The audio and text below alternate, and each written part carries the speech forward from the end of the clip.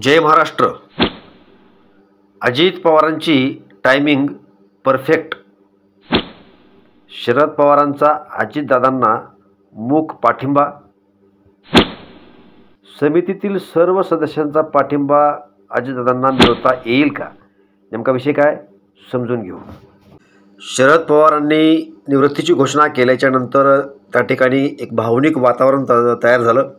वेगवेगळ्या नेत्यांनी कार्यकर्त्यांनी भावनिक साथ घातली पक्षाचं तुम्ही अध्यक्षपद सोडू नये अशा विनंत्या केल्या. आणि ह्या भावनिक वातावरणामध्ये अचानकपणे दादा उठले आणि त्यांनी भावनिक आवाहन करतील अशी अपेक्षा इतरांच्या असताना तसं न करता शरद पवार यांच्या भूमिकेला त्यांनी पाठिंबा दर्शवला आणि सर्वांना दाबत दरडावत किंवा जोर देऊन हे सांगितलं की जो काही निर्णय त्यांनी घेतला आहे ते त्यावरती ठाम आहेत. मी काकींना पण बोललो आहे आणि ते यावरती ठाम असतील त्यांच्यासमोरच जर पक्षाध्यक्षपदाची जे दुराकोणाकडे दिली जाणार असेल आणि त्याच्या समक्ष तो जर घडणार असेल तर तुम्हा लोकांना काय अडचण आहे?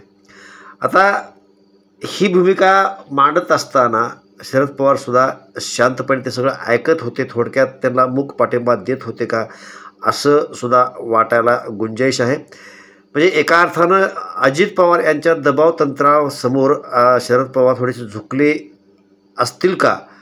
असं सुद्धा वाटायला जागा आहे. कारण राष्ट्रवादी प काँग्रेसची शिवसेना होऊ नये.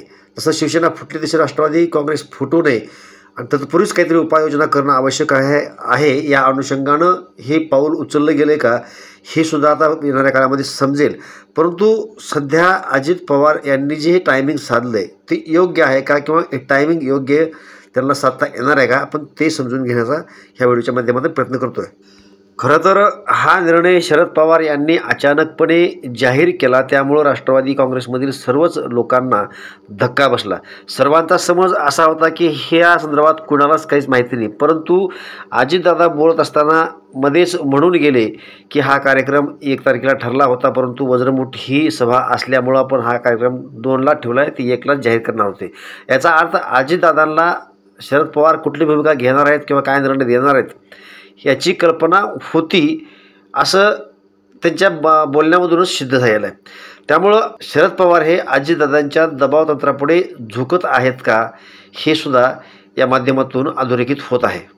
पण जरी दादांच्या दबावतंत्रासमोर थोडं झुकतं माप घेऊन पक्षाला अखंड ठेवण्यासाठी आणि पक्षावरती फोल्ड राहावा यासाठी जरी त्यांनी हा निर्णय घेत असले तरी त्यांनी सुद्धा एक जी समिती नेमली आहे त्या समितीमध्ये जे लोक आहेत ते राज्यामध्ये काम करणारे दोन्ही गटाचे म्हणजे श अजित पवार यांना समर्थन देणारे सुद्धा लोक आहेत आणि जे अजित पवारांच्या अपोजिट आहेत असे लोकसुद्धा त्या समितीमध्ये आहेत. त्याचबरोबरीनं राष्ट्रीय राजकारणामध्ये जे लोक आहेत ते सुद्धा ह्या समितीमध्ये आहेत.